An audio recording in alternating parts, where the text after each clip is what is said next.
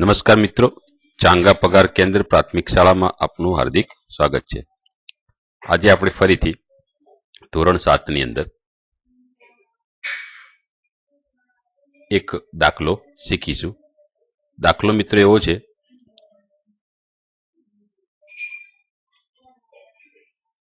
શૈલીએ તેના બગીચામાં એક હારમાં ચાર છોડ રોપ્યા છે. તેણીએ બે છોડ વચ્ચે ત્રણ ચતુર્થાંશ મીટર જેટલું અંતર રાખ્યું છે. તો પ્રથમ અને છેલ્લા છોડ વચ્ચે કેટલું અંતર હશે તે શોધો. અહીં એક આકૃતિ મેં દોરી છે. તો આ એક હરોળની અંદર ચાર છોડ વાવેલા છે. એક છોડ બીજો, ત્રીજો અને ચોથો. બે છોડ વચ્ચે અંતર ત્રણ ચતુર્થાંશ મીટર છે. સરખું. ત્રણે ત્રણમાં કેવું છે? સરખું. પહેલા બીજા છોડ વચ્ચે, બીજા ત્રીજા છોડ વચ્ચે અને ત્રીજા અને ચોથા વચ્ચે.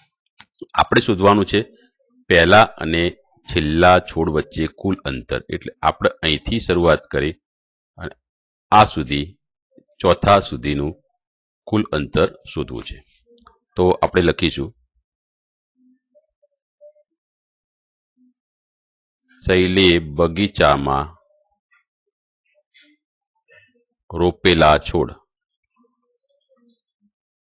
ચલો, રોપેલા છોડની સંખ્યા કેટલી છે? ચાર. ઓકે? નંબર બે. બે છોડ વચ્ચે રાખેલું અંતર. બે છોડ વચ્ચે કેટલું સરાસરી અંતર એને છોડ્યું છે?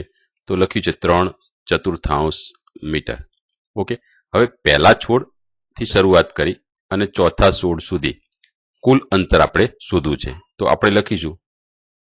પ્રથમથી ચોથા, એટલે કે છેલ્લા. છોડ સુધી નું કુલ અંતર. ઓકે? કુલ અંતર માટે આપણે શું કરીશું? તો આ ત્રણ ચતુર્થાંશ પ્લસ ત્રણ ચતુર્થાંશ પ્લસ ત્રણ ચતુર્થાંશ. તો અહીંયા ત્રણ ચતુર્થાંશ એક વખત, ત્રણ ચતુર્થાંશ બીજી વખત, ત્રણ ચતુર્થાંશ ત્રીજી વખત.